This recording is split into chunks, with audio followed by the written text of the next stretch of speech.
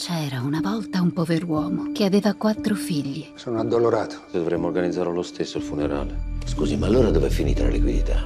Gira e rigira quello che vi resta è questa proprietà. Che bastardo. A me quei soldi servono. La situazione patrimoniale non è quella che aspettavo.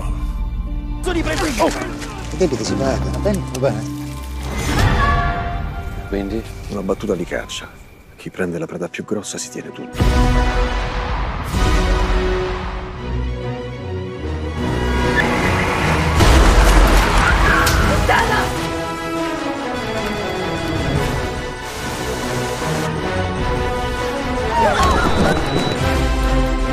Ti vuoi far ammazzare?